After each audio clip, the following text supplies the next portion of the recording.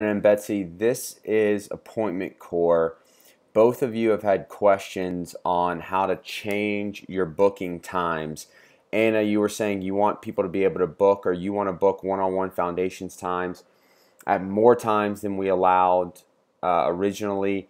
And Betsy has said the same thing as well as one on one baseline times to meet up. So I want to introduce to you guys how to change it yourself because I just don't have time to go in here and change it. So this will be your home screen. It'll show any and all appointments that I, for instance, Daniel Davidson, have today. It'll show your appointments on here if you want to take a look at it. What you need to do is click on booking links. Once you're in booking links, you'll be able to see your booking links. So Betsy here has a trial class.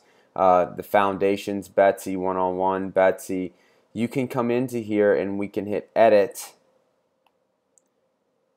and it's going to load all the information that the person would get once you schedule the class. So if we scroll down, we can see all this information, including Betsy's name, and then we can hit continue to next step. And when we go to continue to next step, it's going to say set availability.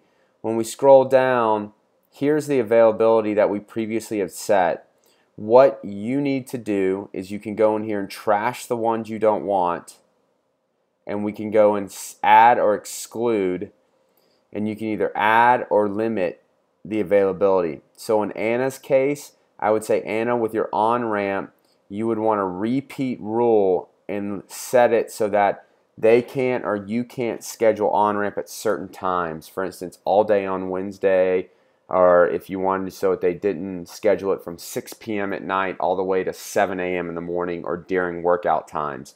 You can do that in here. And then just hit continue to next step. So go in here and do this. It's super important that we book these schedules, not because we want to see how many people we're scheduling, but because it sends them reminders to sign up. Call me or text me. Let me know if you have any questions on how to do this. Uh, you really can't screw it up, and they have really good help and support that you can email into.